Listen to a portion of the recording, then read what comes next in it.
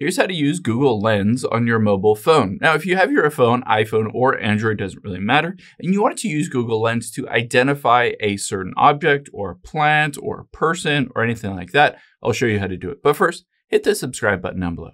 Really helps me out. Thanks, guys.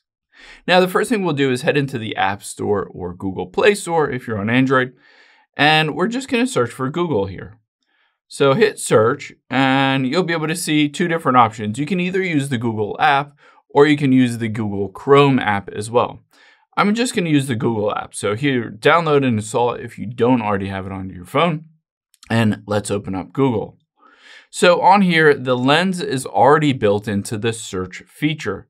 So you can see right next to the microphone there is a little lens or camera icon. I can tap on that and it pops up with the ability immediately to use Google Lens. You can see at the top it says Google Lens. So I can take a photo of, say, my dog here, and you can see if I scroll down, it will show me visual matches of my dog. So these dogs look eerily similar to my dog.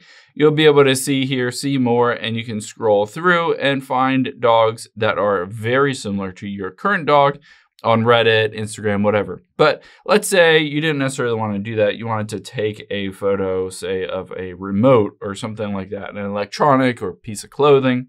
The cool thing is it can identify those as well. So you can hop in here and you can see it immediately identifies this is a Sony wireless remote.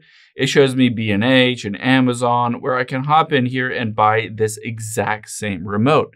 So this is a great feature for clothing, for shoes, for electronics, for basically anything that you might want to buy. You can use the Google Lens on your phone to take a quick photo of it and then use that for a Google search and find that specific product or whatever it may be.